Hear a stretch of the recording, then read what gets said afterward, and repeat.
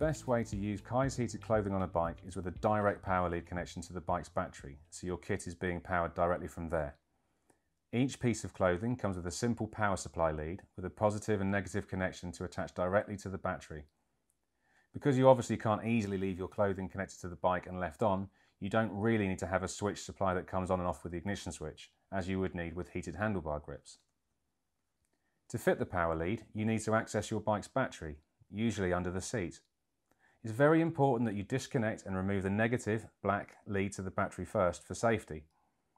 Once you've done that, remove the positive lead, red, attach the red connection on the Keis power supply cable and refit the power lead to the battery.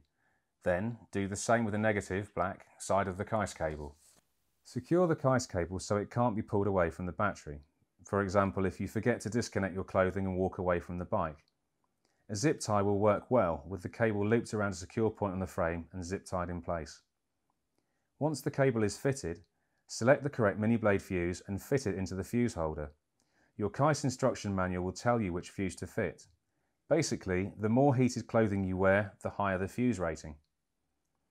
There are full instructions with every Keis item.